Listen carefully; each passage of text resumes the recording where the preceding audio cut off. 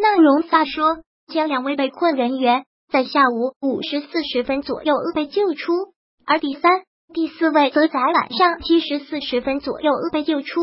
当天的救援行动获得巨大成功，每名被困孩子戴着防水面罩，由两名救援人员护送出来。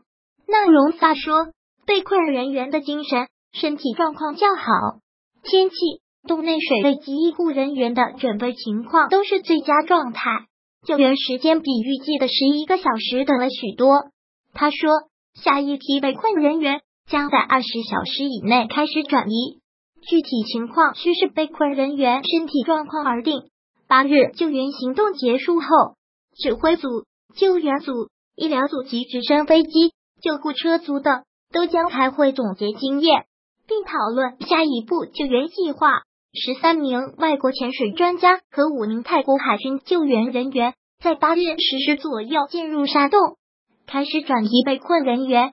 此外，来自泰国、中国、澳大利亚、美国和欧洲等地的九十多名救援人员则分布在洞口到洞内安全营地之间，使用绳索系统协助救援。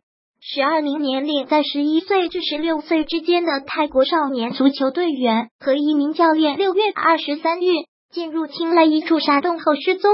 泰国国内外一千多名救援人员进行了近十天的搜索，于七月二日晚在距洞口大约四公里处找到他们。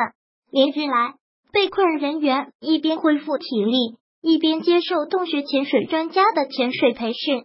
泰军方官员透露。救援人员可能需要两天至四天才能将所有受困人员转移出洞。